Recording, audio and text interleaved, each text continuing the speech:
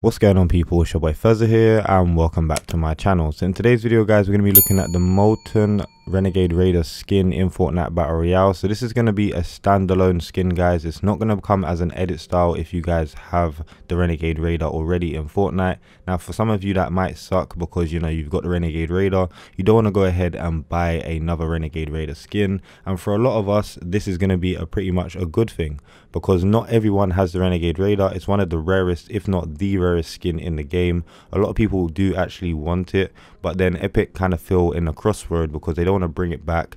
Then they're going to get a lot of hate from the community from people that do own it and have had it for like two to three years. And then, you know, if they do bring it back, some people are going to be happy. So to keep everyone kind of happy, they decided to make it a standalone skin so that people that have started playing Fortnite at a later date can still get the skin, but it's just a different variation. And for those people that have the original Renegade Raider, you guys still keep your exclusivity within your skin, which in my opinion, seems like a pretty cool idea. Let me know what you guys think about this in the comment section below. Now, they have changed the name, so we thought it was going to be called Molten Renegade Raider. They've actually decided to call the skin Blaze. I don't know for whatever reason, but they've decided to change the, the skin name to Blaze. Personally, I like the sound of Molten Renegade Raider better, but I mean, it is kind of a mouthful. It's very long to say. Blaze is just nice and simple, and I'm guessing after a while, when when everyone does associate this skin with the name Blaze, it will just be a lot easier to speak about. And uh, Molten Renegade Raider is very very long.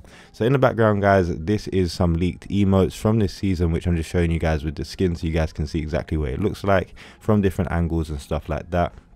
Let me know your thoughts and opinions about the skin in the comment section below and about some of the leaked emotes which you guys are seeing. At the end of the video or near the end of the video, I'm going to show you guys every single leaked emote from this season. But I quickly just wanted to show you guys the new Blaze skin and speak about it as well.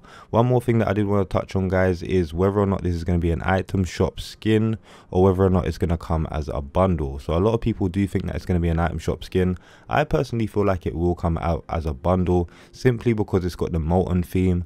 I feel like we're going to get a molten set v2 or like part two, whatever you guys want to call it.